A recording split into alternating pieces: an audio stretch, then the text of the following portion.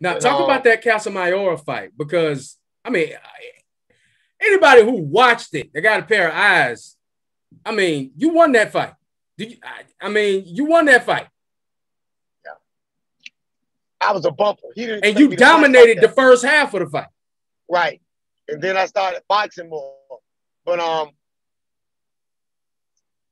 Casamayor was once asked after he fought Freitas. He fought Freitas, then he fought Corrales, he fought, he fought me, he fought Corrales. Mm-hmm. He beat Corrales the mm-hmm. first time.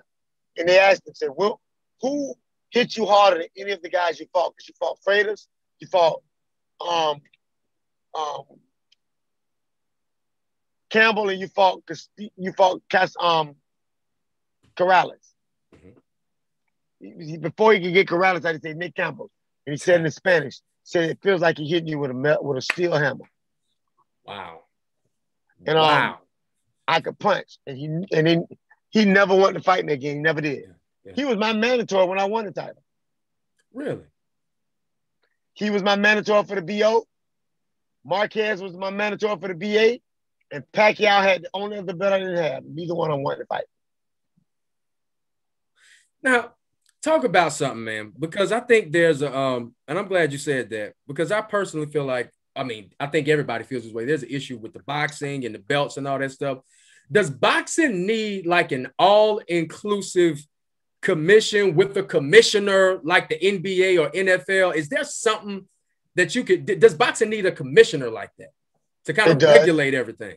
It does, but it can't I, I, don't it can't be some white guy who don't know shit about boxing, some mm. Spanish guy that knows nothing about boxing, some businessman. Mm. It's gotta gotcha. be somebody that understands boxing. Gotcha. Because you got all these belts stuff. And I'm not saying the belts should go away. Right. The little junior belt should go away. The HB, the, um, the HBO regular champion, that belt should go away.